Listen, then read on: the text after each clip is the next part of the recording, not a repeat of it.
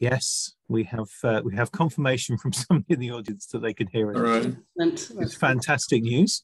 Thank you, Anna. Yeah, and uh, and welcome everybody uh, to this. I think I'm safe in saying the first um, joint seminar between the History and Heritage Research theme in School of Modern Languages and the Central and Eastern European Research Group at Cardiff University. Um, this came about from uh, a conversation that Pavel and uh, Duber and I were having not long ago. We have regular chats about Gott und die Welt, as the Germans say, and everything under the sun. And um, Pavel was telling me that he was uh, uh, kind of working up some material on the relationship between uh, Poland and Ukraine um, which he thought was very relevant to uh, recent events. Um, and I immediately suggested that he should come and speak to us about that. So I'm very pleased that he's been uh, able to, to do that. Just to say a little word about Pavel, he is um, has published many, many publications on uh, Polish politics in the interwar period and Poland's diplomatic history, including a 2013 book on the Polish politician and diplomat uh, Kazimierz uh, Switalski. And um, I know he also has a, a, very strong interest in memory politics uh, and in also in cultural diplomacy in the context of Polish history, two interests which originally got us in, in contact. And he's currently working on a book on Polish memory politics in the 20th century at the same time as he is a researcher on an AHRC funded project, Post Socialist Britain Memory, Representation and Political Identity amongst German and Polish immigrants in the UK. So, very pleased to have you here, Pavel. Just a word to our audience. There will obviously be time for questions at the end. Um, we are encouraging people to save up those questions until the end rather than putting them in the chat or the Q&A before we get there because I think Pavel would find that a little bit distracting. Uh, so uh, when we get to the end, we will be asking you to, to raise your hand or put something in the Q&A. But if you could save all of those up until Pavel has finished speaking, that would be much appreciated. So I'll hand over to you and uh, we'll take it from there. Thank you. Thank you. Thank you, David, for this introduction. And uh, first of all, I'd like to thank you for inviting me to talk about the Polish-Ukrainian relationships in the 20th century and their impact on the present day. This is a subject of great importance, not only for Central and Eastern Europe, which uh, has become an area of tragic historical events, but also for the whole European continent. One can ask why this history of Central and Eastern Europe is so important. Well, I will answer in the following way. We have to remember that the wind of history, sorry for this expression, but it's true in this case, if you like it or not, actually likes to blow from east to the west. So knowledge of Central and Eastern Europe, European history is very important, important to, for the Western world either. However, the subject is still a little known here. So I'd like to thank Professor Mary Heimann, uh, uh, Dr. Russell Mead, Professor David Clarke, and other people who contributed to the organization of this session. And now I will start to share my screen uh, with my uh, little presentation. Uh, so, okay, hopefully it's coming up. Do you see my presentation? Right. So, okay, so I will, I will start. Okay, so Poland is currently the most active advocate of the Ukrainian cause on the international forum. Uh, it was also the case in times uh, preceding the Russian aggression. How should we explain this fact? After all, not all countries bordering Ukraine have taken such far-reaching measures on its behalf, and Hungary, as we know, openly supports Putin. However, Poland, despite difficult historical experiences in its relationships with Ukrainians, has been trying to support them on their difficult road to the EU and NATO for years. So how can we explain this fact? Should we really see it as a Polish-Ukrainian reconciliation and overcoming of the difficult past? I try to provide an answer to this question in my lecture. In order to do it, I try, I, I refer to the difficult common history of both nations. The current Polish-Ukrainian relationships uh, are uh, well illustrated by the word recently uttered by Ukrainian President Zelensky on the occasion of the Polish national holiday, the anniversary of the Constitution of 3rd May 1791. We have managed to forge an extremely strong alliance that is based on truth and reality, not words and paper, Ukrainian honor and Polish pride, Ukrainian boldness in fight and Polish honesty in helping. It is our greatness and yours. It is a fight for our and your freedom. It is a common history of great nations. These words should be read as an expression of gratefulness for the support of the Polish authorities to the entire society. In this case, I mean not only a large humanitarian aid based on human solidarity with the inhabitants of the neighboring country. Poland's actions are not limited only to the humanitarian aspect, but are manifested through the enormous political support from the Polish government, which is constantly trying to foster its EU partners to tighten anti-Russian sanctions or to shorten the procedures for admitting Ukraine to the European Union. However, the way the Ukrainian president uh, named the Polish-Ukrainian past is a little bit surprising at the first glance. Why? He speaks about the common history of great nations and seems to ignore the tragic dimension of these relationships. As we know, the past er, is, this past is rich in ethnic cleansing, genocide, and hatred, and was difficult to overcome for decades.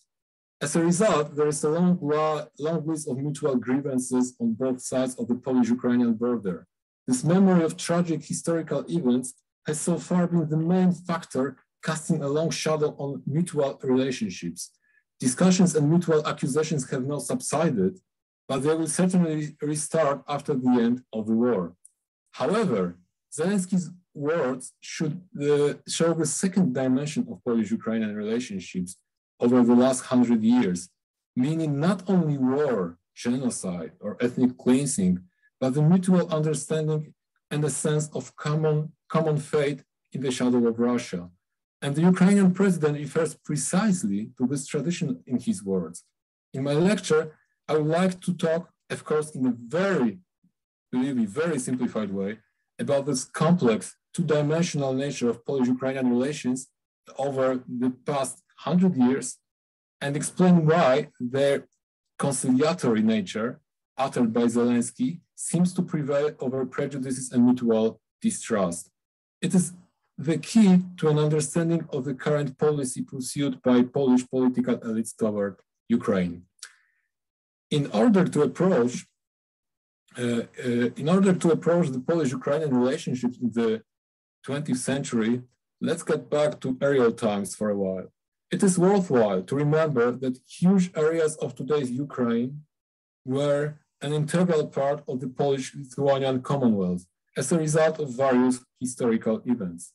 After the partitions of the Polish-Lithuanian Commonwealth at the end of the 18th century, some of these lands were seized by Russia, and another part of them was by, it is assigned to Austria.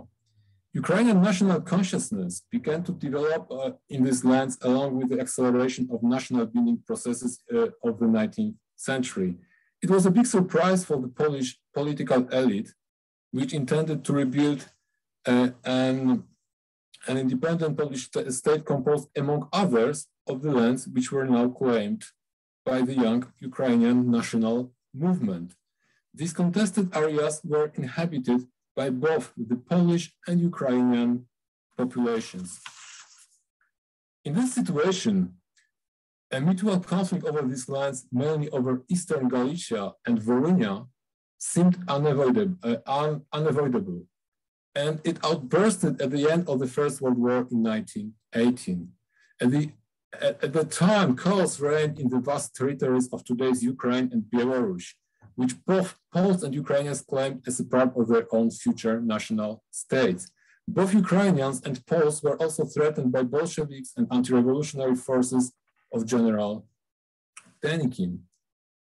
In the autumn of 1918, Ukrainian troops tried to capture Lviv, like Ukrainians say, or Lvov in Polish, but encountered the resistance of the Polish self-defense. It was the beginning of a regular war between one of the two newly established Ukrainian states, the West, uh, uh, West Ukrainian People Republic and Poland. this is the this is this country that I show you on the maps. Uh, I haven't I haven't found the, the English map for that, so this is in Polish only. So this is this is this uh, West Ukrainian People's Republic. In this Ukrainian People's Republic fought uh, with Poland, and this is uh, this is uh, this is sorry. Okay. All right, so so uh, the conflict ended up in July 1990 with the defeat of the Ukrainian troops pushed on the territory of the second Ukrainian state, the Ukrainians people, Ukrainian People's Republic, headed by Simon Petlura. And uh, the second Ukrainian state fought against the Poles or, uh, as well, General Denikin and the Bolshevik. It was the cause at the, at the east. The latter, so the Bolsheviks, at the end of the 1990 finally defeated the Ukrainians, who had no choice but to seek an agreement with Poland. Theoretically, the defeat of the Ukrainians created a favorable situation for Poles, allowing them to significant, significantly expand their territory to the east. Although, although some political leaders, mainly from, the, from one of the two largest Polish political camps, right-wing nationalist national democracy, advocated this solution, so the incorporation, just simple incorporation of uh, the Ukrainian lands, they were also afraid of absorbing too much of the non-Polish population. But the head of the Polish state, Józef Piłsudski, the leader of the second most important political camp, was skeptical, though for different reasons, he rightly believed that the chaos reigning in Russia would end one day. As a result, this country would return to its imperial position, trying to regain what it lost during the First World War. Moreover, Poland was a neighbor of Germany in the West, which lost to Poland the vast territories of Pomerania, Greater Poland, and Silesia. So Germans tried to get them back from the very beginning of the interwar period. In 1980, 1980 eh, 1990, the state was defeated and weak, I mean Germany, but the situation couldn't last forever. Sooner or later, Germany, and Piłsudski rightly believed, was bound to return to its former imperial position. In this situation, Poland squeezed between two hostile powers had no chance to survive. How, in his opinion, in opinion of Piłsudski, could Poland protect itself on the long run? The so-called federalist conception was supposed to be an answer to this question. But what did he mean by federalist conception? And here we get to quite complicated question that I try to explain in the in quite simple words. Piłsudski and his collaborators tried to build a system of independent nation states, which would then form a federation. In this way, he intended to build something that might be called a third force, a counterweight to Russia and Germany in Central and Eastern Europe. This wasn't a new concept. Its genesis reached back to the earlier times this program was considered, for example, by activists of the Polish Socialist Party in the beginning of the 20th century, so behind, before the First World War. However, in this case, we talk about the theoretical assumptions, while Piłsudski, a former socialist himself, was the first to implement them uh, with the use of resources of an independent state.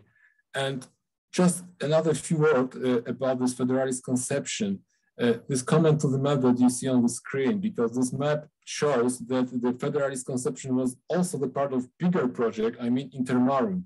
So there were some projects, for example, to gather together the national states for, uh, of this, uh, as you see, uh, region uh, ranging from uh, the Baltic Sea even to, to the Mediterranean and Black Seas. It was a huge theoretical conception of how to overcome this problem of Central and Eastern Europe. So the domination of Russia and Germany. And the federalized project was, I very simplified, but it was the fact that it was a kind, a kind of a part of this uh, project. So as you see, Poland, Poland is a central part of this conception, Intermarium, and Ukraine uh, was also very important part of this conception. So you see that they both countries uh, are in the central position if we if we if we if we think about about intermarium. And this conception, federalist conception, or even this greater, bigger, wider intermarium conception, was seen as a remedium for the domination of Russia and Germany in the Central and Eastern Europe. So Piłsudski, Piłsudski tried to implement this conception uh, and what happened next? For this proposal for to implement this conception of, of, of federalized conception, this federalized conception, it was necessary to defeat Bolshevik Russia and to push it far to the east, which was a difficult task as we can imagine. Moreover, the Polish side encountered additional problems from the very beginning. As I have already mentioned, the situation in the east was complicated after all, after the fall of the Tsarist regime. This chaos was followed by acrimonious nationalism, omnipresent violence, and hatred. In this situation, it was difficult to convince the local elites of different nations, including Ukrainians, to support far-seeing federal projects. F furthermore, in the case of Belarusians, the existing national movement turned out to be too weak to form the foundations of national statehood. The situation was different in case of Lithuanians. They managed, uh, they managed to build their own state, but they were embroiled in, in a conflict with Poland over Vilnius, in Polish Vilno, which unfortunately poisoned mutual relationships in the entire interwar period. In this situation, Ukraine, which was already prepared to build its state structures, was bound to become a key partner for Poland and its Eastern policy. Although mutual relationships between the two, two nations were far from idyllic, I, I, I, I recall uh, uh, the, both nations fought uh, the bloody war in 1918-1919, uh, but Poles needed Ukraine as much as she needed them. This meant, in turn, that among some of the political elites of both nations, the idea of joining forces together began to mature. A difficult alliance was born and its consequences are to be felt until today. An agreement was signed between Józef Piłsudski Uh, and the aforementioned Ukrainian leader, Simon Petrula, in April 1920. We also recognized the independence of Ukraine both countries also signed a military alliance against Bolshevik Russia. Therefore, Ukrainian units took part in the offensive launch on 25th April by the Polish army. It was a preemptive strike because the military operations on the Polish Bolshevik front were already carried out from the first weeks of 1990. I have no time to dwell in details on the Polish Bolshevik War. Uh, the fight was raging until mid-October 1920. On 18th March 1921, the Treaty of Riga was signed. Here you see Simon Petrula and Piłsudski on the front. It stabilized the situation in Central and Eastern Europe. However, the Treaty of Riga, 18th March 1921. However, it meant that the end of the end of dreams of an independent Ukraine stayed for decades as Ukraine was eventually divided between Poland and Russia. Therefore, the Polish-Ukrainian alliance did not achieve its goals and the Second Republic of Poland had to come to terms with Bolshevik Russia and from 1922 the Soviet Union had to come to terms so the this uh, federalized conception failed briefly. However, the federal idea became an important ideological and political heritage. In the Second Republic of Poland, many collaborators of Piłsudski did not approve of the existing geopolitical order. They knew that without an independent Ukraine, the security of Poland and Central Eastern Europe would always be at risk. Hence, they were active in the so-called Promethean movement, based on the assumption that Russia might be reaped, and this is a quotation, at the national seams in other words, they supported the national anti-communist movement in the Soviet Union and didn't rule out a possible return to federal ideas in the future. The idea of an independent Ukraine constituted, therefore, an important part of the Promethean movement. Its traditions, in turn, of the Promethean movement, had a huge impact on the Polish independent political thought after 1945 and the formation of Polish Eastern policy after 1989. I will return to this problem later. But let's get back to the interwar period for a while. After the Treaty of Riga, millions of Ukrainians found themselves on the one or another side of the Polish-Soviet border. In the areas of two Polish voivodeships, it's something like a county in the UK, they even constituted the majority of the population. Like other national minorities, they had their own representation in the parliament, but they did not influence the formation of the government, right? They were denied the higher positions in the state administration either. Jews, their influence over internal politics was very restrained. This was due to the prevailing role of the right-wing national democracy in Polish politics, this right-wing national democracy that I've mentioned before. This nationalist political camp was an ardent opponent of the federal conceptions of Piłsudski. It resulted in an overtly discriminatory policy, which raised the opposition among the Ukrainians and embittered the already strained relationship with Poles. It also created the fertile ground for acts of violence committed by Ukrainian nationalists. The authorities responded with brutal actions, which resulted in calming down the situation in the eastern borderlands. But in the long run, the sense of harm and grievances among the Ukrainian inhabitants has been strengthened. As a result, the hatred against the Polish state was still rising with its outburst during the Second World War. However, we have to remember that in the history of the Second Republic of Poland, not all political groups were guided by nationalist principles. Therefore, we deal also with a more conciliatory internal policy toward Ukrainians, which often coexisted with the policy of Polonization and discrimination. Ukrainians could always count uh, on the support of uh, already mentioned Polish Socialist Party, which even submitted, and three times they tried to do it, the bills providing for broad, for broad autonomy to the areas inhabited by Ukrainians. However, these bills were not, never approved by the Polish parliament. Piłsudski, in turn, didn't intend to return to federal ideas they would have resulted in another war against the Soviet Union. However, he didn't have a clear vision of how Polish-Ukrainian relationships might be within the Polish state. He certainly felt that minorities should not be allowed a far-reaching autonomy, but he knew that in the long run, the internal peace and territorial integrity of the Polish state couldn't be guaranteed without the support of national minorities, including Ukrainians. Piłsudski and his people expected them to be loyal to the Polish state. In return, they offered Ukrainians a real opportunity to develop their national life. After the Piłsudski's coup d'etat in 1926 and his takeover of power, they strived to implement these ideas. They granted broad autonomy to the Volyn area, in which the Ukrainians constituted almost 70% of the population, as you can see on the map.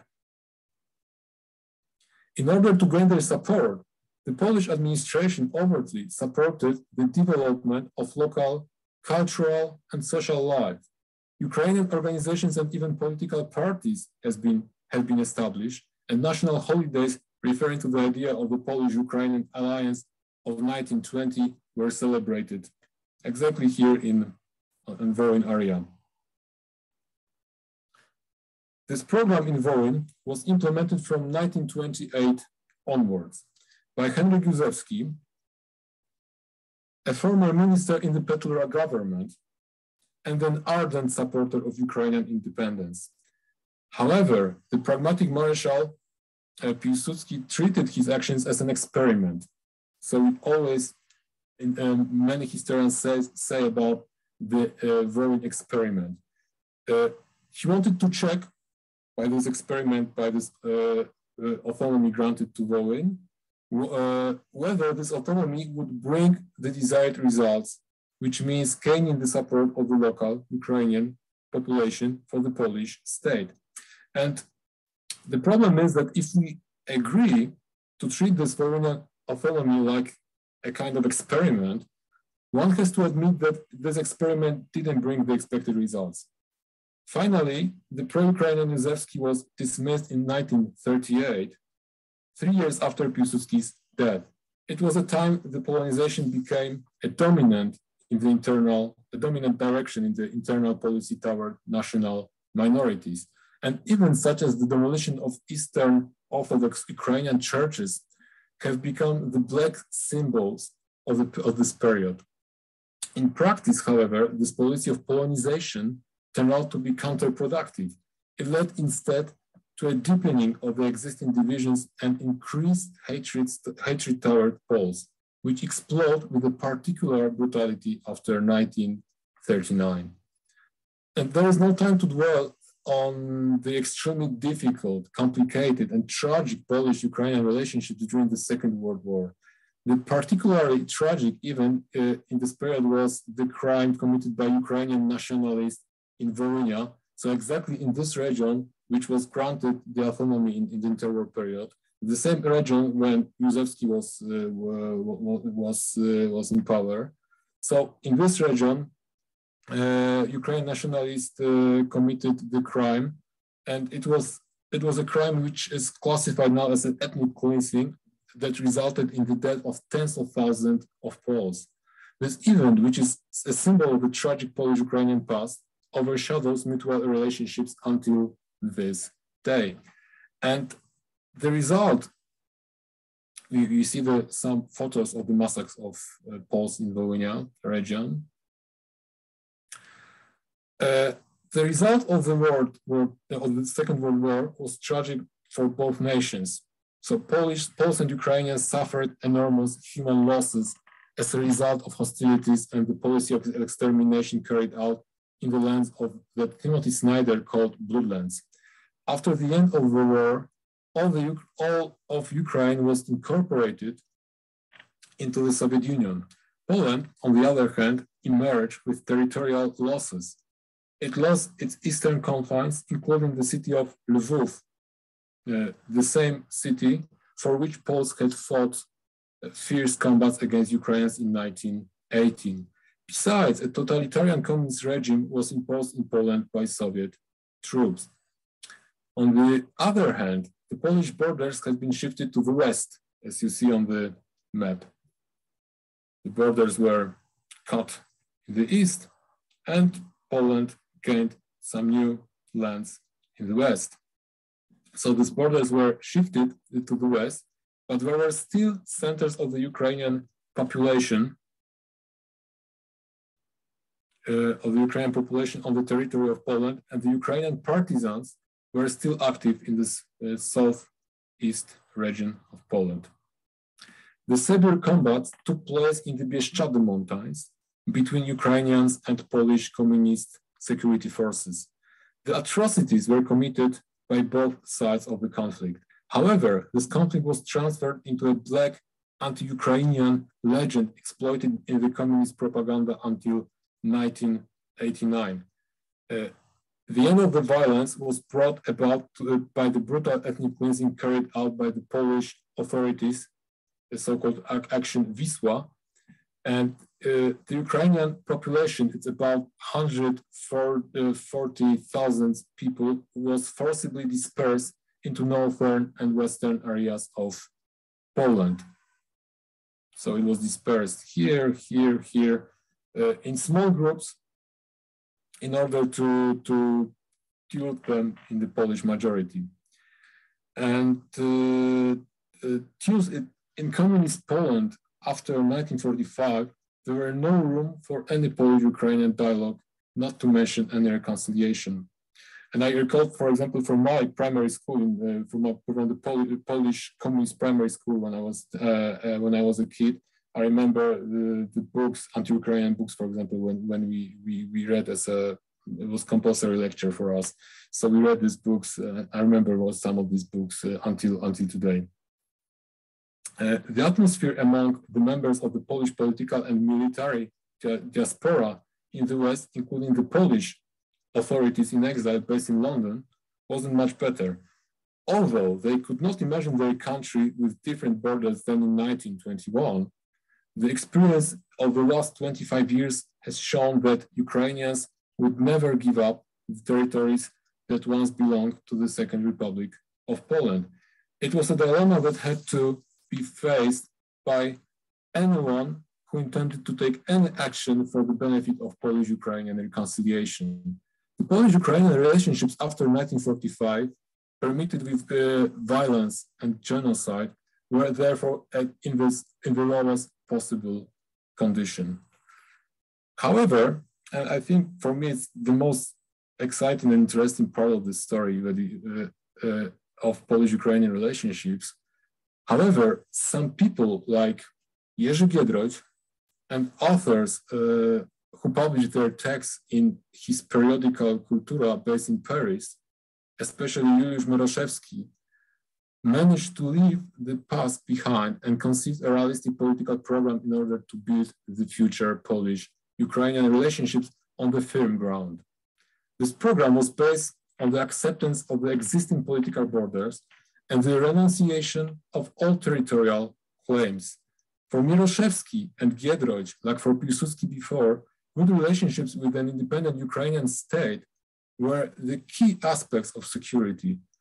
So we talk about, about 40s, 50s, when Soviet Union was very strong, but these people, they, they foresee, or maybe they, they, they, they, they, they foresee the, the, the, the breakdown of the Soviet Union and they thought about the future relationships of future Poland and future Ukraine. It's quite, quite, quite extra. It's, it's quite amazing.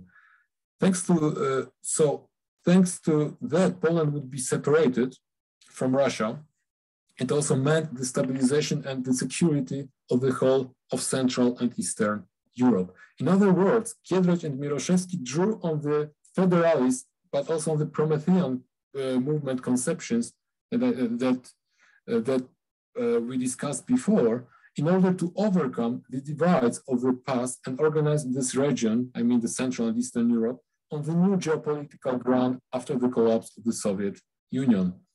Nevertheless, it meant that Lvov might stay on the Ukrainian side of the border. So it was quite difficult to, to accept for many, many people uh, from the immigration circus as well although the concessions proposed by Giedroyć were painful for many people, really painful. It was, uh, it was they were alone uh, for, for, for, for, for, for a long time. They gave real hope for the final end of the fratricidal conflict between the two nations, which cost the lives of many people and made it easier for the Soviet Union to consolidate its domination in Central and Eastern Europe. So these ideas gradually made their way into the consciousness, consciousness of the Polish non-communist elites. Kultura, as a highly influential periodical, became a symbol of this new approach to the relationships with Eastern neighbors of Poland, the so-called EULB countries, this expression taken from one of Mieroszewski's articles. So these ULB countries, it means Lithuania, Belarus, and Ukraine. Smuggled into the communist country, Kultura was eagerly read by the opposition circles, in which these ideas were discussed and commented. The conceptions promoted in Kultura prevailed with time, and from the mid 70s, approximately, we can talk about something that historians call the doctrine of Giedroyć, or Giedroyć, or, or a doctrine of Giedroyć-Mieroszewski, to use the post-solidarity elites entered the period of the political changes after 1989, marked, as we know, by the gradual breakdown of the Soviet Union, with a clear political program. Independent Ukraine was therefore seen as an important partner which might be supported in his effort to become a member of the European Union and NATO. And it's not a coincidence that Poland was the first country to recognize the independence of Ukraine on the 2nd December 1991. Although internally divided, Ukraine started its gradual rapprochement with Poland and Western institutions. Aware of the key importance of this country for the stability of the whole region, Moscow tried to sabotage this process, eventually resorting to confrontation in 2014, and now it led to the detachment of Crimean Peninsula and then Russia carried out the, the open aggression that we witness nowadays. And in, in conclusion, I, I'd like to say a few words uh, to, about, about all, of, all, all this subject. Ukraine is a key country for Poland, as we see, uh, and its independence is seen in Warsaw as a crucial element in the jigsaw called the geopolitical security of Central and Eastern Europe. But independent Ukraine is not enough. According to the federalist, federalist and Promethean conceptions discussed before, The task is not is, is to build a system of independent countries that are also friendly to Poland. So not only independent countries, but uh, but friendly countries. Uh, so the existence of an independent but also friendly Ukraine was the main purpose of the part of Polish elites from Piłsudski onward. Uh, part of Polish elite, because as I said, part of Polish elites completely disagreed with Piłsudski. We have to remember that. In this case, the reconciliation between Poland and Ukraine is important not only from the moral and of course human, but also from a political point of view. And in order to reconcile, both nations have to overcome their painful past. This process is ongoing for a long time, and the Russian aggression that we witnessed only accelerated this process. It does not mean that we won't see any controversies around this, some historical issues.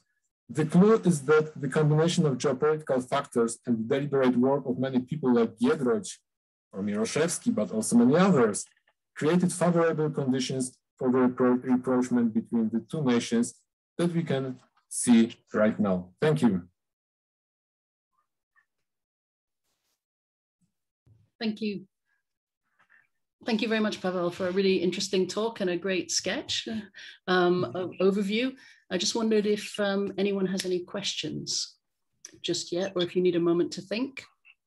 And could, we, could I please ask for people not to use the chat function if they don't mind, just to either raise their real hand or their virtual hand, if that's possible. Um, while people are gathering their thoughts, I had one just quick question for you, Pavel, which was just um, to ask about the immediate reaction to the uh, Russian invasion uh, in February, and just wondering if you found that the reaction was uh, more populist, or whether you know did did the Polish government follow uh, a more local, spontaneous reaction on the ground, or do you think the government was quick to respond? No, it's very it's very good question, and it's very difficult to say with a certainty. With, certain, uh, uh, you know, when we when we uh, look at this problem from this broader historical perspective, uh, and and we look at the problem at, at, at this conception uh, that we called uh, the Giedroyc doctrine of Giedroyc of Mieroszewski Giedroyc, which is really really the main doctrine in Polish Polish Eastern policy for 30 years. Uh, I think I think Polish Polish uh, government it was quite a natural reaction for us, you know, because uh, we know and Polish government knows it, and this is not only the government which is in govern uh, in, in power right now in Poland. I mean, law and justice government, but all other governments more or less know knows uh, the same that for us independent ukraine is our uh, to be or not to be uh, and this is you know this is why uh, if we if we if we look at the media for example if you look for the reaction of some western politicians for example there's a, a there is very very exciting uh, interview with with a former american ambassador in in in poland. And she was always against law and justice, but she said that the law and that Polish government, Polska has, has was were right, uh, being always anti-Russian, always saying that Putin is dangerous, and and uh, because it's. Uh, I think I think I think it was it was a kind of um, a kind of main uh, thread in Polish policy for 30 years. So we were anti we're very suspicious of Russia, and we are we are we are trying to support Ukraine in their uh, way to independence, then in their way to NATO and European Union. So I think if we look at the Polish reaction uh, after the after sorry Soviet Russian aggression against Ukraine, I think it was quite natural for us uh, that it's uh, we had to support Ukraine, and it was it was um, it was evident for all political forces. If, if you if you if you see the reaction of Polish political forces, for example, there is no difference. You know, uh, you see uh, a civic platform, you see uh, law and justice, you know,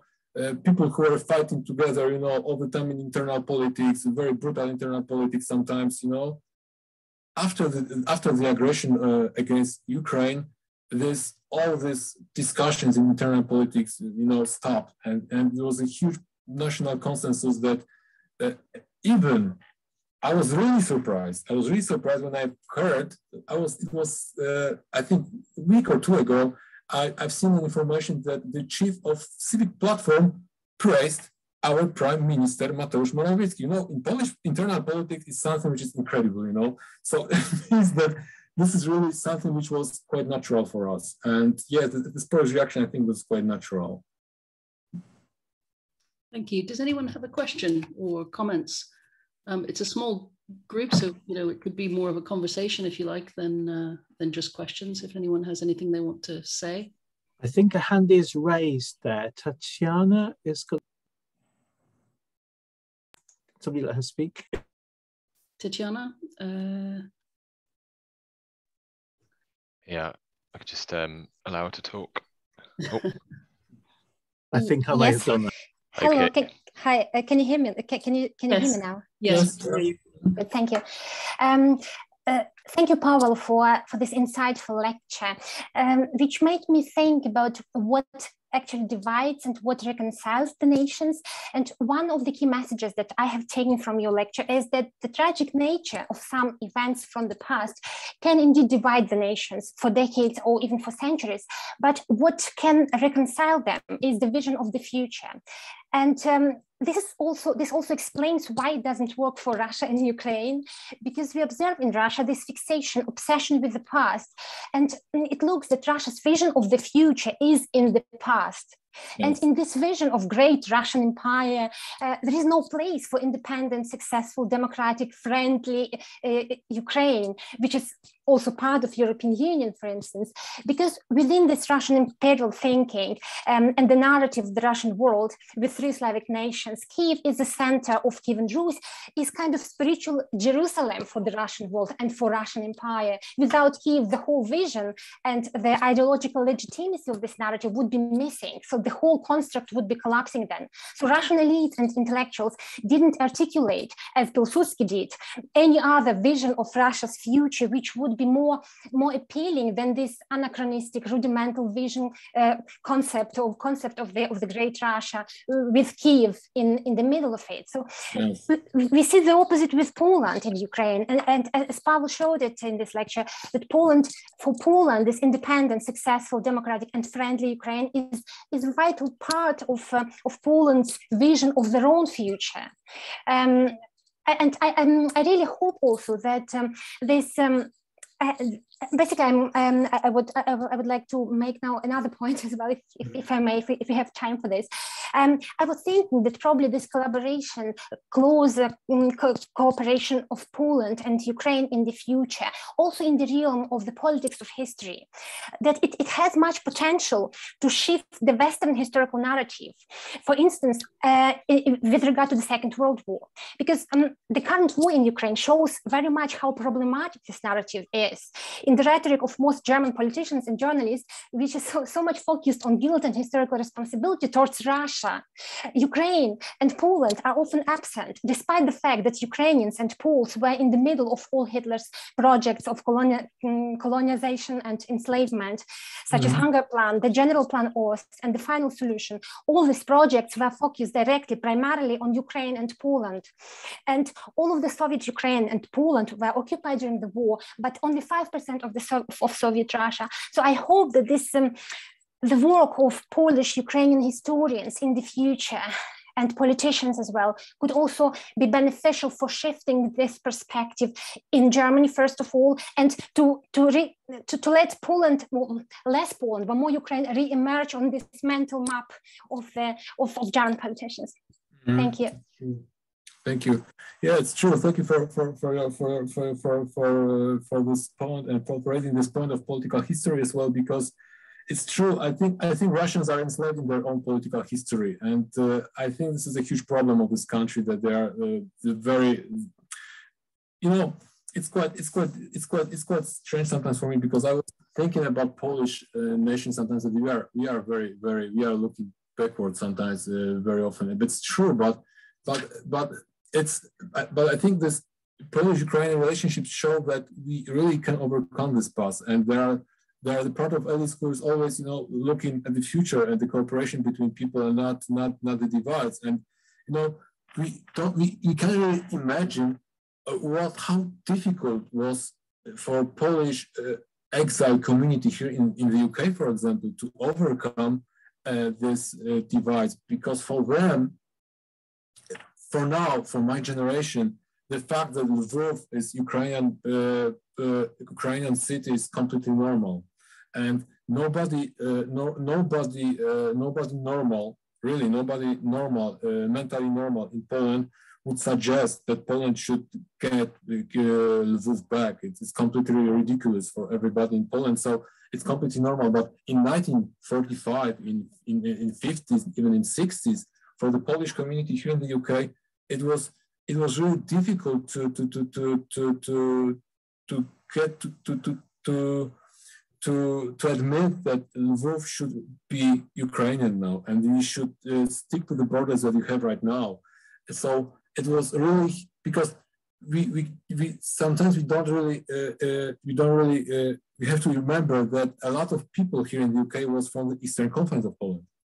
So a lot, really a lot of people, a lot of soldiers, politicians were from were from Eastern Conference, and not only from Lviv, but many many other places in, in Eastern Conference of Poland that were uh, that were that Poland lost forever. And for this generation, it was very, very difficult. So this is why Giedroyc and Mieroszewski was so Giedroyc, who was born in Minsk, so he was also from Eastern Conference, Giedroyc, Jerzy Giedroyc, but, but for him, the future was the most important thing, and he, he was thinking uh, in, in the geopolitical categories, and, and he, he understood that we, that Polish-Ukrainian uh, conflict is, is uh, it's something which Russia is the main, uh, the main profiter.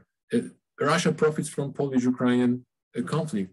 And he understood this problem. And he, this is why this concept was so bold in this time. And it was so important. And for me, it's, it's the, uh, the influence of uh, Kultura, the influence of Giedroyc is so, is so, so amazing. And I think the story is so amazing that this conception could, uh, could uh, prevail. And now we see the support of Poland for independent Ukraine. Thank you. Would anyone else like to ask or comment? Uh, Samuel? Hi, thank you. And thank you, Pavel, for that talk. I did have one question. Um, when you were talking about the sort of black legend, the mutual black legend between Poland and Ukraine after 1945, and your own experience of um, being in primary school and seeing very anti-Ukrainian work, and my question was to do with whether there was any sort of Soviet oversight of that from Moscow, I would have thought kind of the first thing that came to mind was would the Soviets have, have wanted that to happen, given they presumably wanted a degree of cohesion between the Warsaw Pact states, or you know what was the sort of Soviet reaction to that? Were they happy to let that happen, or were they in some way trying to sort of hold that mutual hatred well, back? You know, thank you. It's a very, very good question, uh, and uh, and I think both uh, both of them. I mean, uh, first of all, you know, for Soviet, it was absolutely uh, important to to to uh, to keep this uh, to keep this anti-Ukrainian uh, this anti-Ukrainian propaganda in Poland. But we have it's more complicated because we have to uh, we have to remember that, for example, uh, the Polish communist elites, a lot of them fought in Bieszczady, in Bieszczady mountains, and there are some historians that even say that for this generation of, for example, General Jaruzelski uh, or General Kiszczak or uh, people uh, in power, in the most important persons in, in, in, communist Poland, it was a kind of generational experience for them to fight against Ukrainians. And uh, so, so for them, this anti-Ukrainian uh, propaganda, it was, I think it was not only Ukrainian, it was not only propaganda for them, it was something more they were really anti-Ukrainian because they fought against Ukrainians in Bieszczady. And I remember, for example, uh, when I talk about my private experience of this of this uh, period, I was in the primary school, and until this day, it was very good written. Really, I remember the book, which was written. I don't remember the author, but I remember the I remember the title. It was Ślady rysich pazurów, please don't try me to, to, to, translate in English right now, but it was it was very, good written, and it was about the about the about the fight against Ukrainians in in in, in Bieszczady mountains. And I remember when I was a kid, the, the symbol UPA, uh, Ukraińska Armia Powstańcza, U, uh, UPA, uh, so the symbol of organization of Ukraine's, uh, Ukraine's nationalists, was something like you know like SS or like like like Gestapo something like that. Really, we Ukrainians were presented as as, as you know uh, killing people, children, uh, well, uh, children, uh, women, you know, burning the villages and so on and so on.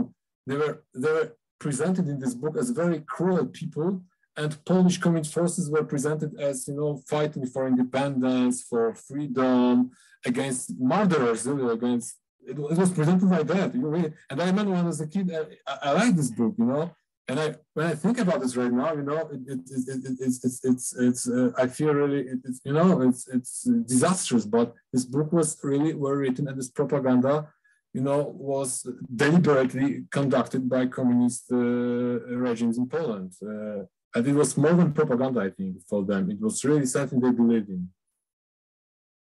Thank you very much. Cheers. Anyone else?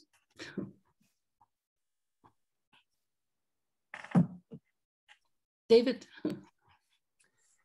Yeah, just a, quick question because uh, what I found fascinating about your talk um, is the extent to which this this offers kind of a very different perspective on some of Poland's behaviour during the, the, the current Ukraine crisis uh, to what we quite often see in the in the British media, particularly in the kind of, I guess, liberal left media, where there's quite often a, a concentration on, um, you know, Poland's previously uh, a kind of very um, restrictive attitude to to immigration and not wanting to be part of the European immigration system, and that being then contrasted with its willingness to host Ukrainian refugees at the same time as it's securing its border with Belarus, where we know because of the non-European refugees that are coming in through that route. So I've I've certainly read a lot of commentary that that that portrays the reaction of the of, of the law and justice government to Ukrainian refugees coming into Poland as, as being kind of coloured implicitly by sort of a kind of hypocrisy, if you like, uh, that's to do with you know racialization of different groups of, of refugees. Um, I don't think that's necessarily completely untrue. I mean, I, you know, I think there is a desire in Poland not to have refugees from outside of, uh, of Europe coming into Poland, at least on the part of the government.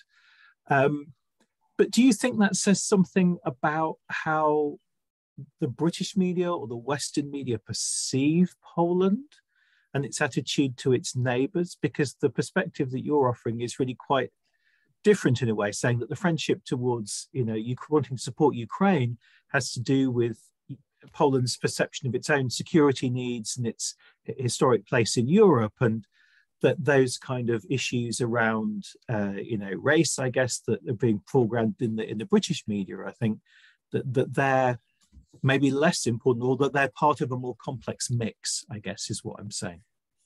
Uh, if I understand well your question, David, I think it's quite complicated because um, uh, I think absolutely Polish society, I mean Polish government, let's maybe say like that because I, I don't I, I want to, to say on behalf of Polish society, which is 38 million of people, very, very, you know, many, many, many diverse, you know, uh, political view on, on, on, on, on things.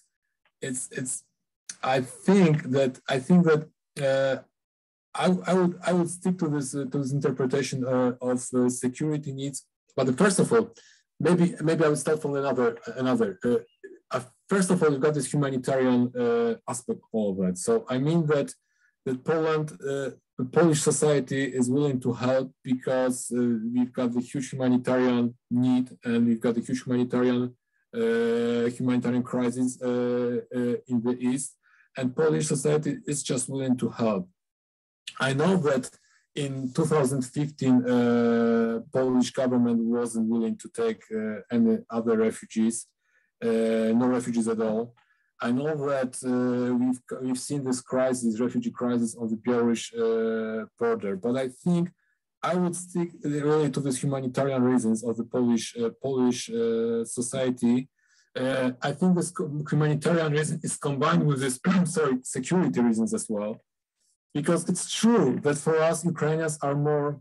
We know these people, you know, there are people from the neighborhood, you know, from the neighboring country.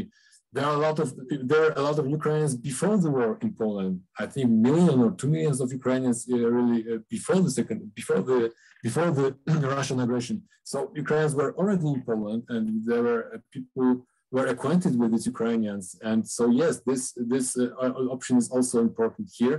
But there is also, I think, this the so humanitarian option, historical, um, uh, geopolitical reason but I think there is also another reason that I'd like to mention here. I mean, uh, and I don't want I don't want to to enter into deta details here, but because it's still uh, quite quite quite quite blurred for all of us because we have to see the sources and so on. But but uh, Polish government accuses Belarusian government, I think rightly, that they play with refugees. I mean, they they play the game, and I know they they they, they deliberately create the crisis uh, uh, to to push more refugees towards the European Union.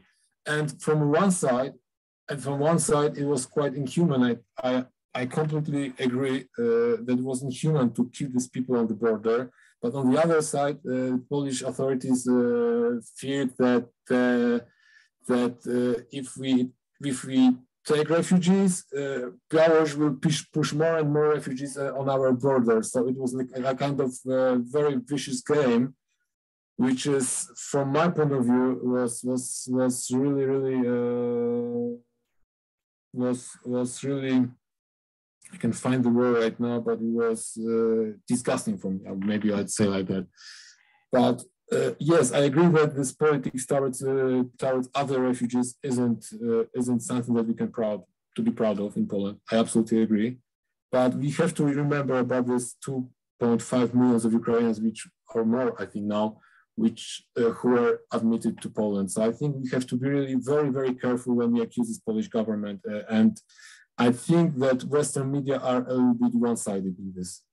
And I, I, I think that we have to present the whole picture, uh, which is sometimes very, very complicated, very complex. And we sometimes don't like to present the whole picture. We, we prefer sometimes to, to choose one or two elements from our from our from our um, from from this picture and to present it as the prevailing uh, as the most important element but i think we have to present the whole picture of the story and this whole picture is very very very complicated very complex and i think we don't we really have to know something about this polish polish ukrainian relationships uh, very difficult relationships but very important to really uh, comprehend the policy which is uh, pursued by polish government right now, I think. If it helps, David, uh, if it's your question. Thank you. Yeah, yeah. I think that's what I was was driving at more than more than to say. so I just for, for, clarity, I wasn't really sort of. Uh, you know what Poland's done in terms of putting Ukraine has been absolutely uh, amazing. I guess my my point was more on that last thing that you were saying that that the Western media isn't kind of taking account of the complexity of, of the reasons for the way that Poland's reacted and I think that your talk has added an important uh, an important perspective to help us understand that some of that complexity. Does anyone else have a question? If not, I was wondering something. Does anyone have a question or comment? Um, I'm just wondering what what you or others in the group uh, think the solution is supposed to be, because um, you know we do have this this history of the bloodlands so to speak. We you know the the instability of borders and the repeated challenging of those borders um, rival and opposing histories and memory politics. Where where does it go from here? Where's this what's the solution i don't expect you to mm. you know have the answers i wonder if the group generally if there are people who want to speak to that but what do you mean by the word solution well, um, how do you reach this lovely ideal of balanced uh, states that don't invade each other's borders? Um, you know, this has been a repeated problem, right? You know, you know, I think sometimes that we we we I'm a historian, but I have to say that we sometimes we talk too much about history. Sorry for that. I have to say it. Maybe this is this is a problem sometimes for us. And I think I think you know, if I if I understand well your your question, your your your point here, that this is, you know, from the from the Polish perspective, there is no problem with that. So you know, uh, Poland was always aware of its uh, um, feebleness. I think this is the kind of word. So we were we, we always perceived this, uh, uh us as a feeble country after 1918. Piłsudski perceived Poland as a very feeble country, so he didn't want to launch any other war against Soviet Russia. And for example, uh, Russians were always very suspicious of Polish uh, Polish uh, government in interwar period. They always were suspicious of Piłsudski, but Piłsudski was very realistic and he didn't want to to, to fight another fight another war. You know, Poland right in, in uh, 2022 uh, is is aware of its uh, feeble position as well. You know, we are in the European Union, we are in the in NATO, but we know that we are economically uh, economically military. Poland has very restrained uh, possibilities, and we, you know, the, but the problem is with Russia, who stick stick to its past, its imperial past, and it's uh, you know, I think Poland what I want to say that Poland was was was has imperial position in, in Eastern Europe as well. You know, Poland, Jagiellonian Poland uh, from 15th, 15th, uh, 15th, uh, 17th century was was was was the country which was the biggest country in Europe after I think uh, Turkey and I think after Turkey was uh, surface of Poland was the, was the biggest. Uh, Polish uh, Polish Lithuanian Commonwealth was the biggest uh, country in Europe, but you know, so Poland was imperial was was has this imperial past as well. But I think we could uh, overcome this imperial past as well. So as I say, there is no, I don't know any any. Uh, there is there are no people mentally have with a mental with, with a, mentally responsible people in Poland who would say that, for example, Wolf Wilno should should be uh, should be taken back because this is uh, uh, we, we overcome this past. But the problem is that Russia didn't do it, and the Russia still they had still imperial imperial uh, imperial uh, thoughts in their head, and we can only we can only we can only expect that Russia will change one day. I mean, it's naive, I think, but even Giedroyc and Mieroszewski, they they didn't they didn't want to exclude Russia. They they believe that Russia could change one day and that Russia could overcome its imperial past as well. So I think we maybe we have to, as one one one uh, as somebody said before, that we have to think about the future, not about the past. I think maybe it's naive, but I think we, we have no other choice here.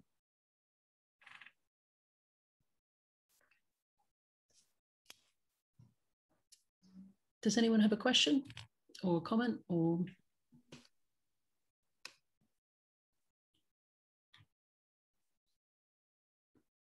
I mean, if not, I think we can just um, once again thank our speaker very much for for a very interesting talk. And uh, there's um, David, is there anything you'd like to say to wrap up? No, just to say thank you, Pavel, for for bringing to bear a really fascinating historical perspective on on current events, which uh, you know I'm sure I and uh, the rest of the audience have found very enlightening. So thank you again.